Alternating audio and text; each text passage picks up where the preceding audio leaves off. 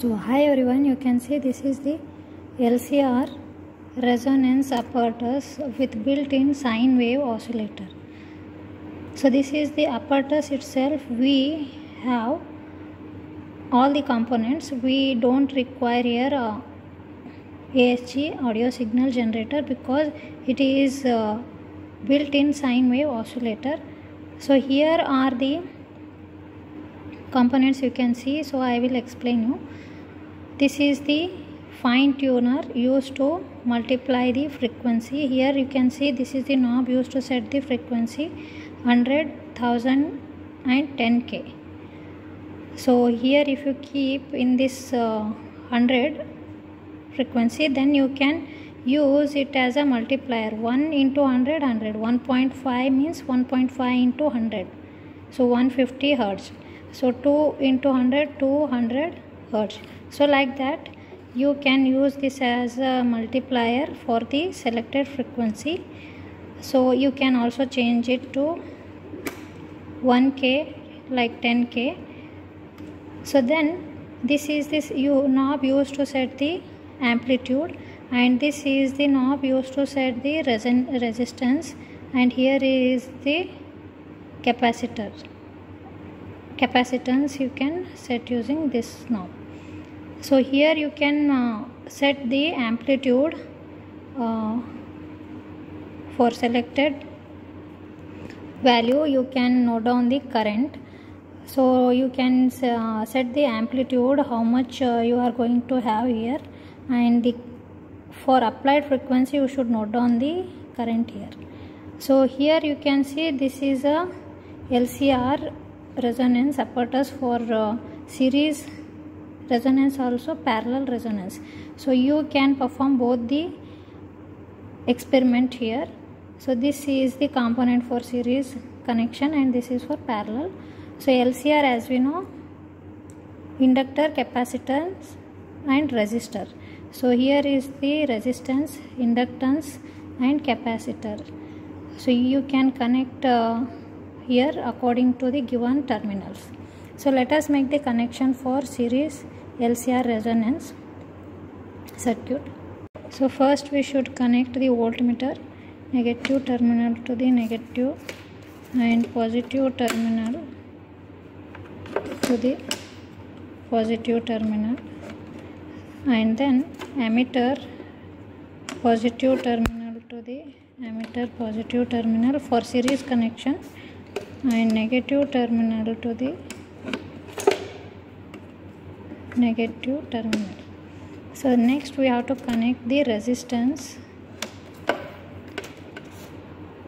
to the resistance one end and another to the resistance to set the resistance value. And then so here is the capacitor connect capa and inductance value is fixed not not necessary to connect its value is fixed. So here I am going to connect this capacitor. This inductance value is 13 Henry so capacitor value can change by connecting to this terminals and you can change it in this mode. So here is the connection and one more connection you have to make here. Amplitude so connect amplitude here positive terminal to the positive terminal. And then negative terminal to the so here is the knob to set the frequency and this is the multiplier. This is the knob to set the voltage. And uh, here you you have different values of resistance 50 to 200 ohm so any one of them you can select uh, 50 75 100 up to 200 and here also capacitance you can see 0.1 to up to 0.5 microfarad. So you can select any one of the capacitance value. So let us take for 50 ohm and 0.1 microfarad and uh, set the value of amplitude using this knob switch on the device and here you can uh, use 100 hertz or 1k hertz range or 10k hertz. So i am i kept it on 1k hertz. So let us switch on the device. First you need to set the amplitude. So let us uh, take the amplitude of 3 volt and then uh, you can start taking the reading for you should note down frequency and current reading here. Amplitude is going to be fixed value uh, and as you as you increase the frequency current should increase. And after that if even though if you increase the frequency current should decrease. So exactly at a certain value of current you are going to have the amplitude that is what we call resonance frequency. So resonance frequency theoretically also you can calculate by multiplying the resonance frequency formula is equal to what? 1 divided by 2 pi under root L into C. Sorry uh, inductance value you can multiply 13 Henry and the capacitance value which one you have selected. You will get the theoretical resonance frequency. You should um, compare with the experimental resonance frequency by plotting the graph of current versus frequency.